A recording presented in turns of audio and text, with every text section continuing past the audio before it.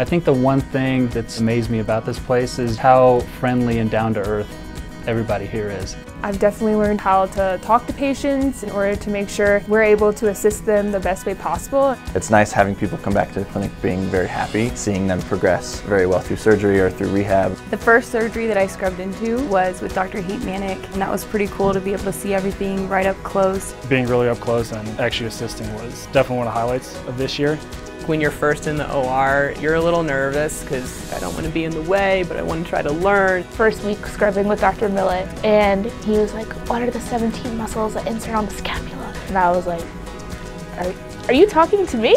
The first time I scrubbed in was with Dr. Clanton, and they straight jacketed my arms behind me, and I stood there and watched.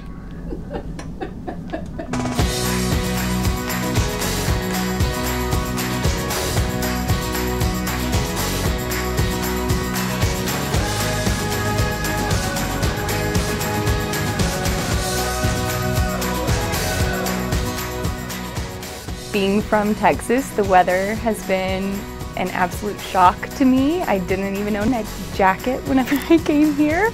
Our very first class bonding experience was a couple days into the fellowship when Brandy took us on a lovely hike and we basically were all dying of altitude and could not breathe. Thought we were ready to take on a 14er and we were not. Special talent might be teaching everyone in our class how to ski and snowboard. Like granted everyone got hurt. Chantel concussed herself a couple of times. Allison broke her wrist snowboarding. Christine hit a tree and broke her leg. JD broke his hip slash butt. Oh yeah, and then Hannah broke her knee twice. Yeah, Kevin didn't get hurt, so all in all, I call it a success. I would want the incoming class to know they need to make the most of every opportunity that they have in this one short year because it goes really fast, way faster than you think it's going to. You gotta stay on your toes. Um, you know, it's going to be a lot expected of you.